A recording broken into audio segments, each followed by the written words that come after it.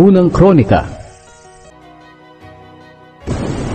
Ikalabing anim na kabanata Inilagay nila ang kahon ng Diyos sa loob ng toldang itinayo ni David para rito. Pagkatapos, nag-alay sila sa Panginoon ng mga handog na sinusunog at mga handog para sa mabuting relasyon. Pagkatapos nilang maghandog ni na David, binasbasan niya ang mga tao sa pangalan ng Panginoon. Binigyan niya ng tinapay, karne at pasas ang bawat isang Israelita, lalaki man o babae. Pumili si David ng mga Levita na maglilingkod sa harap ng kahon ng Panginoon para manalangin, magpasalamat at magpuri sa Panginoon, ang Diyos ng Israel. Si Asaph ang nanguna sa kanila at siya ang nagpapatunog ng mga pumpyang.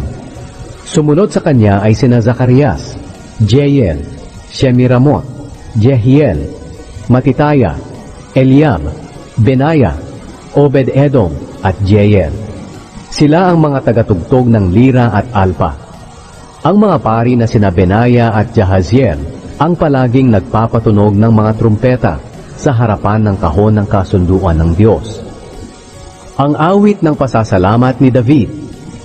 Nang araw na iyon, sa unang pagkakataon, ay ibinigay ni David kay Asaph at sa mga kapwa niya Levita ang awit na ito ng pasasalamat sa Panginoon.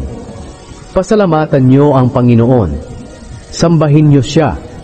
Ihayag sa mga tao ang kanyang mga ginawa.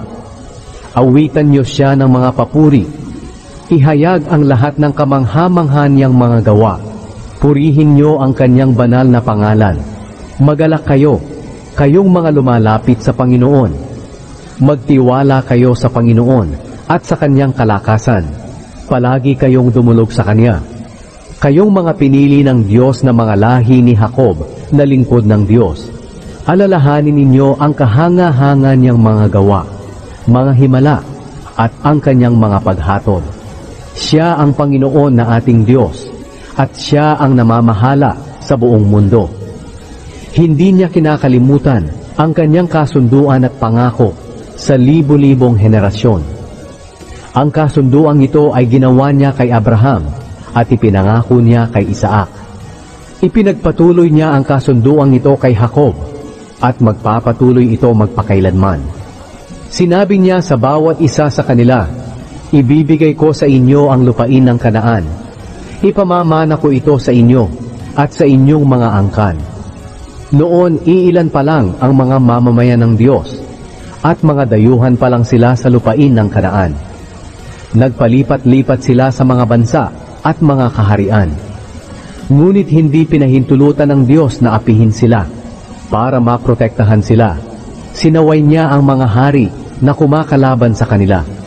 Sinabi niya, Huwag ninyong galawin ang hinirang kong mga lingkod. Huwag ninyong saktan ang aking mga propeta.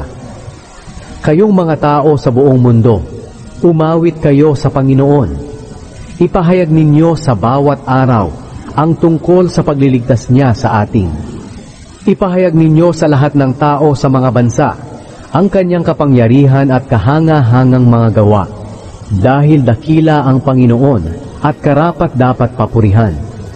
Dapat siyang katakutan ng higit kaysa sa lahat ng mga Diyos, dahil ang lahat ng Diyos ng ibang mga bansa ay ginawa lang nila para sambahin.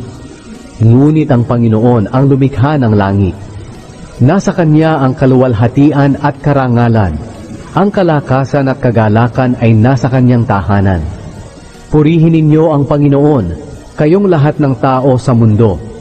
Purihin ninyo ang Kanyang kaluwalhatian at kapangyarihan. Ibigay ninyo sa Panginoon ang mga papuring nararapat sa Kanya.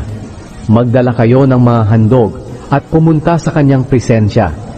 Sambahin ninyo ang Panginoon sa kagandahan ng Kanyang kabanalan. Matakot kayo sa Kanya, kayong lahat ng nasa sanlibutan. Matatag niyang itinayo ang mundo, at hindi ito mauuga. Magalak ang buong kalangitan at mundo. Ipahayag sa mga bansa, naghahari ang Panginoon. Magalak din ang mga karagatan, bukirin, at ang lahat ng nasa kanila. At ang mga puno sa gubat ay aawit sa tuwa sa presensya ng Panginoon dahil darating siya upang hatulan ang mga tao sa mundo. Magpasalamat kayo sa Panginoon dahil siya'y mabuti. Ang kanyang pag-ibig ay walang hanggan. Manalangin kayo. Iligtas niyo kami, O Diyos na aming tagapagligtas. Palayain niyo po kami sa mga bansa at muli kaming tipunin sa aming lupain upang makapagpasalamat at makapagbigay kami ng papuri sa inyong kabanalan. Purihin ang Panginoon, ang Diyos ng Israel magpakailanman. At ang lahat ay magsabing, Amen. Purihin ninyo ang Panginoon. Ipinagkatiwala ni David kay Asaph at sa kapwa nito Levita ang palaging paglilingkod sa harap ng kahon ng kasunduan ng Panginoon ayon sa kailangang gawin sa bawat araw. Kabilang sa grupong ito ay si Obed Edom na anak ni Jedutun, si Hosa, at ang 68 pang Levita na mga gwardya ng tolda. Ipinagkatiwala ni David sa pari na si Zadok at sa kanyang mga kapwa-pari ang tolda ng Panginoon doon sa mataas na lugar sa Gibeon.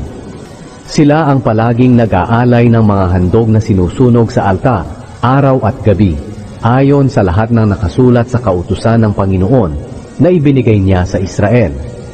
Kasama rin nila sina Heman, Jedutun, at ang iba pang mga pinili sa pag-awit ng pagpapasalamat sa Panginoon dahil sa pag-ibig niyang walang hanggan. Tungkulin ni Heman at Jedutun ang pagpapatunog ng mga trompeta, pumpyang, at ng iba pang mga instrumento na ginagamit sa pag-awit ng mga awitin para sa Panginoon.